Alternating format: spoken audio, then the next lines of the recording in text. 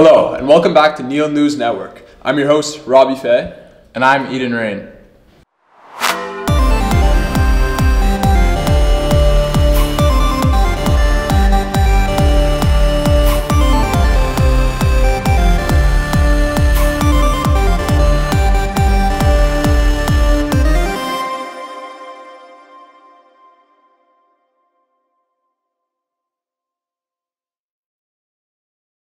In this episode, we'll be covering some familiar segments like Teacher Feature, Student View, and Neil Beats. Let's start off strong with Adi Andrew on Teacher Feature. Hello, I'm Adi Andrew. This is Teacher Feature. And today we're interviewing. Mr. Riachi? Okay, Mr. Yachi, I know you came to Neil about four years ago or three. And during that time, we had COVID and everything was online. How was tradi- transitioning from online COVID times to where we are now?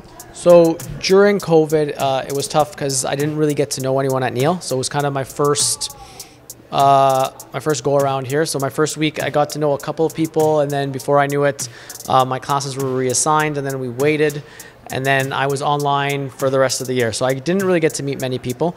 Um, but my second year coming back, uh, I got to meet a, a lot of people at, at Neil McNeil. It was actually an awesome experience, getting to know the teachers, uh, getting to know the students, and just kind of seeing how close knit and how everyone's involved in different aspects of the school and why the school functions so well. Um, and why I could be a, a, a nice fit uh, at Neil. So initially, my my goal was never always to stay at Neil. Um, I'm an O'Connor alum, and I was planning on going back to O'Connor. But after getting the experience here at Neil uh, with su- such supportive teachers, um, the commitment level that is here amongst the staff, uh, and how great the students are, I kind of fell in love with uh, with Neil, and uh, I hope to stay here for a very long time. Um, and that I think that's what what changed the most. It was like the camaraderie, being able to talk to your students, uh, being able to help them, being able to inspire them, being able to talk to your colleagues about different things and different methods that work and things that don't.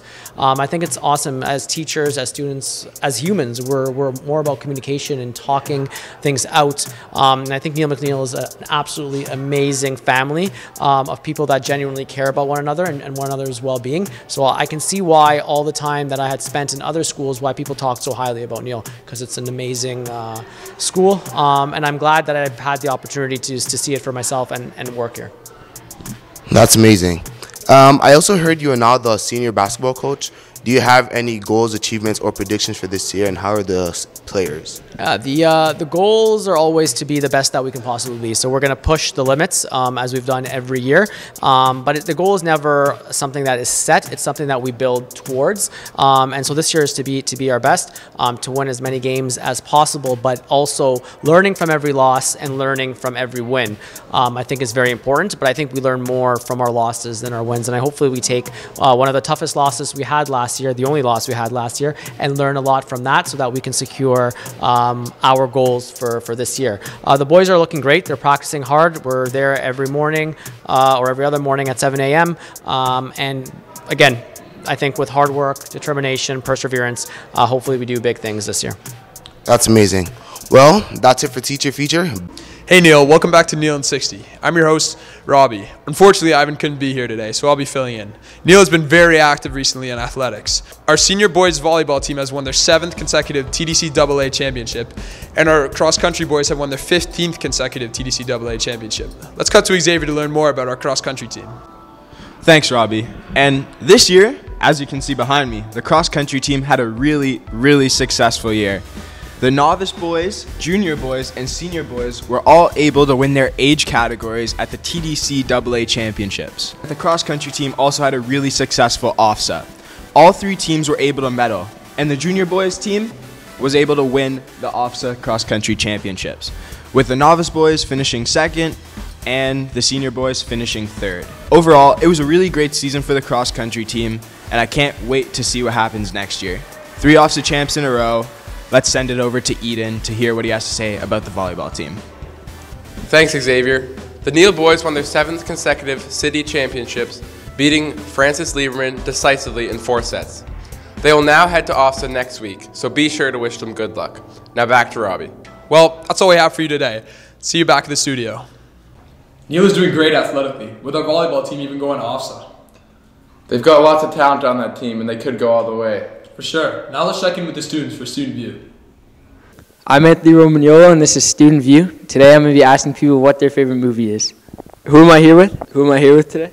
Who am I here with? Christian. Matthew Huang. Miko. Tyler. Ellery. Sean. James McDonald. Marcus Sam. What's your favorite movie? All right, what's your favorite movie? What's your favorite movie? Uh, the Lego movie. Uh, Kill Bill by Quentin Tarantino. Why? I don't know, the action scenes are very uh, vivid and live in that movie. Oh, great. The Paw Patrol movie. Oh, oh, yeah. The Grinch. Why? So I watch it with my mom every Christmas. Great choice. I love my stepsis Why? because it helps me to be calm and relieve stress. All right. I'd say Oppenheimer. Why? Well, because it is related to history and I am a huge history buff. Oh, that's great. Top Gun. Why? Uh, it's got the perfect balance of action and romance, and uh, you know, war. All right. That's it for Student View. Back to the studio. Thanks, Anthony. There's some really good choices. Robbie, what's your favorite movie? Well, it's a tough choice for me, but I think my favorite movie has to be The School of Rock. What about you, Eden? Mine's High School Musical. Speaking of music, let's go to Xavier with Neil Beats. What's up, Neil? I'm Xavier Gordon, and today we're gonna be doing Neil Beats. I'm here with Evan Scott. Evan. What's your favorite album? More Life by Drake. Right, and I'm here with Mr. Takane. Mr. Dekanai. What's your favorite artist? Uh, it's hard right now, but I could think of one that stands out is uh, Foo Fighters. So.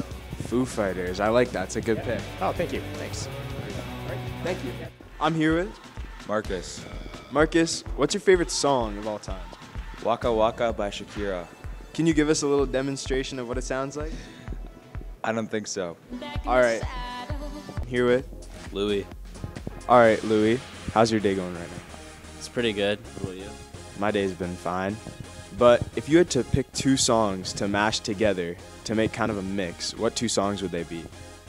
Uh, I think I'd go with Party Rock Anthem and Starships. That sounds like a good choice. I'm here with Einstein.